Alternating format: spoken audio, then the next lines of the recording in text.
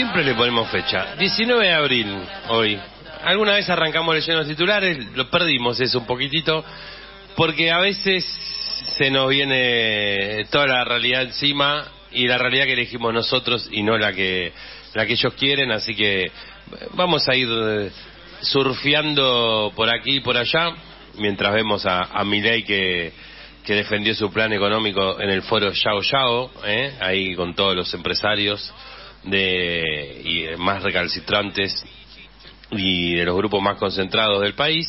Bueno, seguramente en un rato escucharemos algo para que te indignes, para que reflexiones, para que eh, veas con nosotros cómo seguir. Hoy hablábamos de las universidades, de la marcha, hoy tenemos dos notas al respecto. Eh, del aumento de los senadores que se quiere comer la, la tapa y los titulares de, de todos los diarios.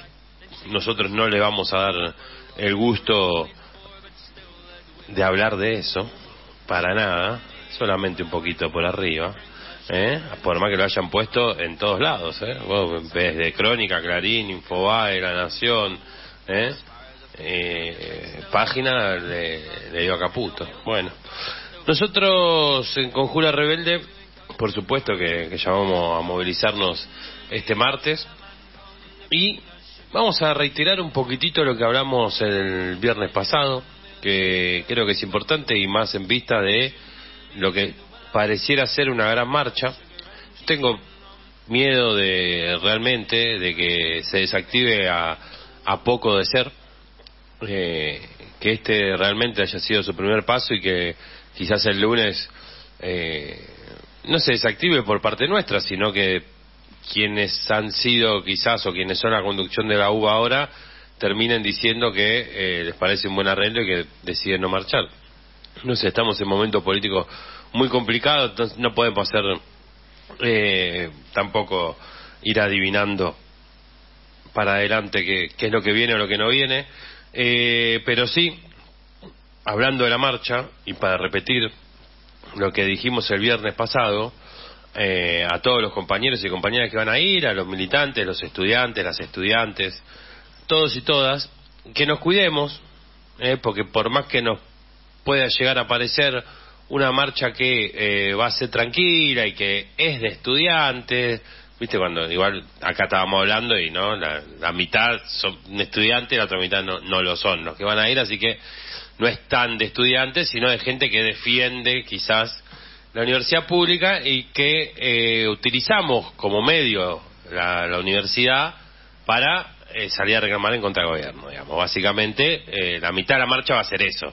Gente que está en contra del gobierno y que donde hay una marcha está. O sea, estamos acá, estamos en el Ministerio de Economía, en el Ministerio de Agricultura. Digo, yo no conozco a nadie en el Ministerio de Agricultura, la verdad que a nadie, y sin embargo hay una movilización ahí y ahí estuvimos. O sea, no, no, no, no, no es muy difícil eh, estar en esa. Pero digo, lo dijimos la semana pasada y lo vuelvo a repetir, cuidémonos en el momento de la policía, en el momento de la represión, en el momento que eh, alguien esté buscando eh, reprimir, agredir, eh, no nos confiemos en que va a ser una marcha pacífica o una marcha vestida de blanco, porque, ya lo dijimos, lo volvemos a decir, el gobierno de Javier Milei, Patricia Bullrich, Mauricio Macri, Luis Juez, Petri, toda esa banda de delincuentes están buscando un muerto. El gobierno de Milei quiere un muerto y no quiere que sea si hay ellos y nosotros, no quiere que sea de los nuestros. Ellos quieren un policía muerto. ¿No?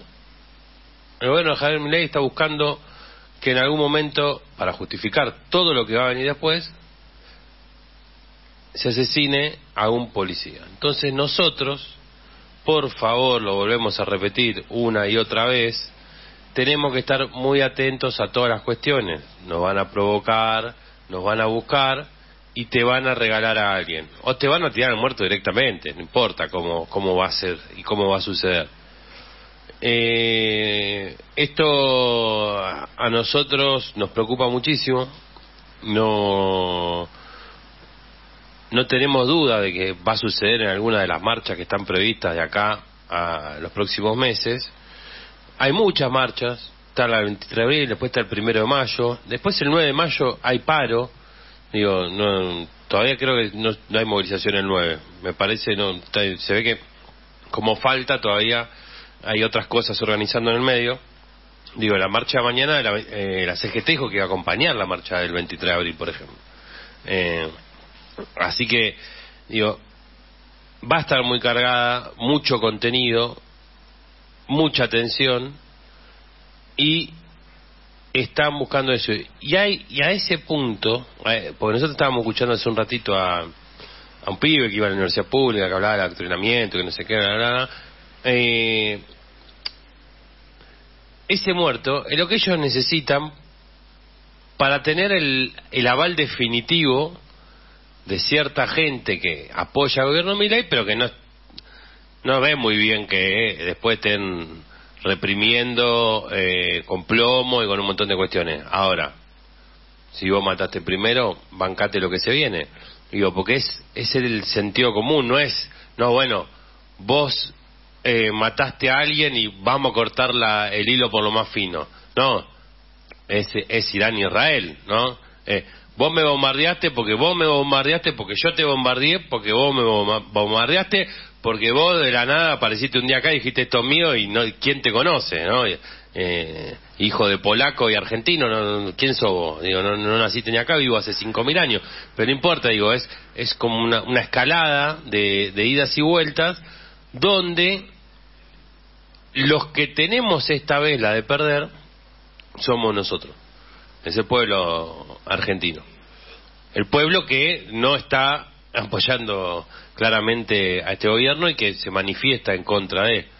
Digo, porque hemos llegado a este punto donde tenemos que analizar y justificar constantemente por qué marchamos, cómo marchamos, dónde marchamos y qué hacemos cuando marchamos. Digo, bueno, eh, es un montón, es un montón. Bueno, eh, bien y bueno sería no poder hacerlo con, nuestra disciplina de siempre, con nuestro fervor de siempre, sin tener que andar justificando tanto, porque uno cuando tiene que ir a, marchar, a movilizarse, no, ¿y por qué venís acá? Y que esto y que lo otro, digo, las consignas a veces son, son claras, digo, no, eh, no queremos, digo, están haciendo un desastre, no, no, hay, no hay mucha vuelta que darle, y, y a donde veas es un desastre abrir, llegás a tu casa y tenés la boleta de luz que te vino tres veces más. Decís, bueno, me voy a ir a pagarlo. Te vas a, cuando te vas a, a pagarlo, te tomás un tren, eh, tenés que ir a laburar tres veces más. Te tomás el bondi cuatro veces más.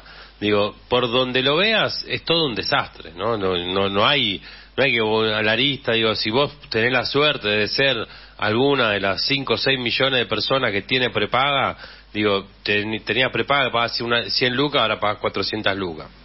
Bueno, eh, en todo en todo ese derrotero, digamos, de, mierda que están haciendo esto, eh, el país, eh, aparece encima la justificación sin ton ni son de cualquier tipo de cosa. Digo, está mal, por ejemplo, está mal que alguien se aumente el sueldo. Está mal las paritarias, está mal hacer un paro, está mal hacer una marcha, está mal eh, movilizarse en la calle. Digo, todas las cuestiones, todo, todo eso que nosotros creíamos que estaba ganado, eh, claramente viene un gobierno donde pone en duda, acompañado por un monopolio mediático, digamos, donde la, la línea conductual es una, por eso digo monopolio, más allá de que, sean varias empresas, vos pongas el canal que pongas, todos te dicen lo mismo. Eh, y ahí, claramente, yo lo veo ahora Moreno en, C5N, y digo, bueno, claro, ¿qué hace Moreno ahí metido con, esa manga de chantas? Pero bueno, claro, ¿cómo, cómo llegó Milei a, a ese gobierno? Más allá de los 100 millones de dólares que le puso BlackRock, ¿no? Digo, eh, estando en los canales de televisión, esos canales que nosotros decimos que la tele no va más, que no existe más, que no sé qué, que esto y lo otro, que ahora son las redes sociales, mirá, yo te digo algo, el tipo salía en, la tele en todos los programas. ¿Eh? Y, y, así como fue llegando, y obviamente con periodistas justificando. Entonces vos tenés todo el tiempo que te justifican, que te justifican, que te justifican, que te justifican, y nosotros, desde acá, eh, sin poder, viste, sin poder meter un, un centro bien, viste, porque a veces parece que decimos no, hacemos ni una bien, o nosotros tenemos que dejar de ser eh, tan autocríticos con nosotros mismos, un poquito, ¿no? Porque digo, nosotros buscamos una perfección y la idoneidad eh, excelentísima para alguien en su rol de conductor, líder, presidente, cabeza, eh, jefe de bloque o lo que sea, y, y si lo pensamos en términos políticos, nosotros enfrente no hay casi nadie, pues ya no está quedando nadie enfrente que vos digas, bueno, no, este es un tipo con el que, viste, el otro día Emiliano decía, ¿no? Se sentaría con expert pero yo, pues, no sé si sentaría con Esper, pero digo, el, esto del, de, de tener un político enfrente, como cuando hablábamos con Pinedo, por ejemplo, no, no es político. ¿eh? O, con lo que hablábamos de, de Santilli, de Ritondo, de Ritondo no tanto, pero digo de Santilli en un momento que ya se perdió. Digo, porque venimos, volvemos editoriales para atrás donde eh, Santilli y toda esa, y toda esa casta, digamos, eh, están justificando una y otra vez las cuestiones que eh, realiza Milei. Entonces yo ya no me quiero sentar ni con Jorge Macri, ni con Santilli, ni con Patricia Burrich, digo, y se, va, se achica absolutamente todo. Y no porque uno no tenga ganas de dialogar, sino porque eh, para ellos la universidad se tiene que pagar, la salud se tiene que pagar, eh, digo, no, no puede ser pública, accesible para todos, o como lo carajo lo quieran llamar, digamos, porque es absurdo pensar que si yo voy a la, universidad, me compro mi, mi fotocopia, está bien, no le pago al profesor, pero si todos lo pagan, entonces el alumno también estaría pagando parte del sueldo del profesor. Digo, bueno, entonces, digo, es, es lo lindo de, de lo público.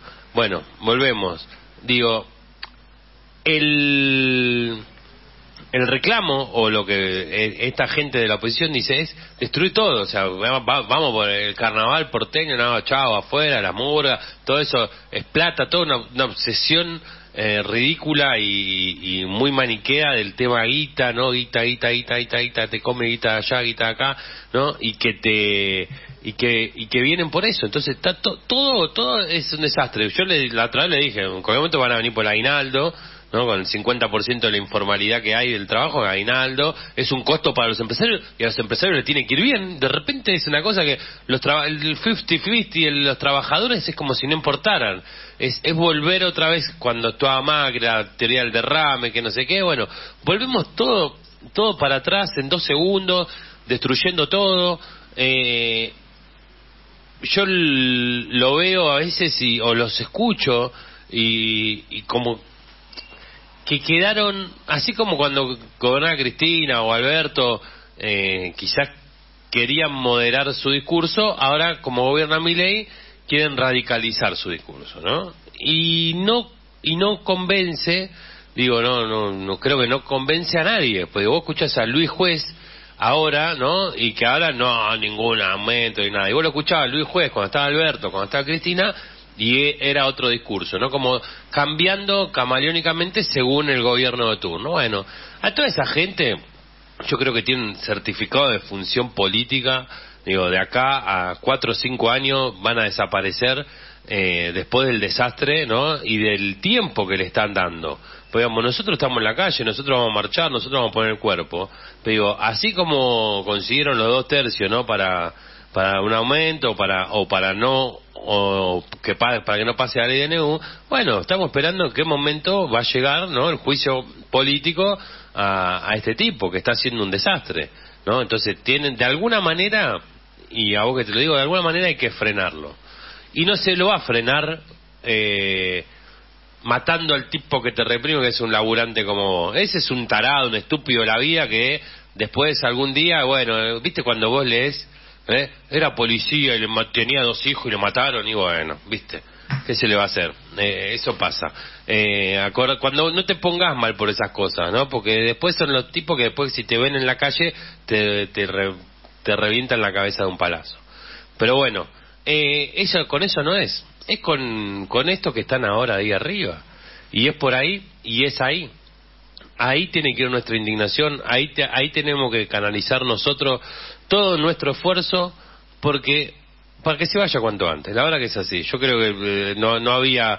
Eh, eh, a veces uno, viste, piensa, a ver qué va a hacer, qué va a hacer, qué va a hacer. Bueno, ya quedó demostrado qué es lo que va a hacer y qué es lo que quiere hacer con el país eh, nos quiere llevar a la ruina, así como nos llevó Mauricio Macri, eh, Javier Milei quiere profundizar. Por suerte a, Caputo no le dieron los 15 mil millones de dólares que estaba pidiendo, así que ¿qué le van a dar si tiene el país prendido fuego y tiene una inflación galopante?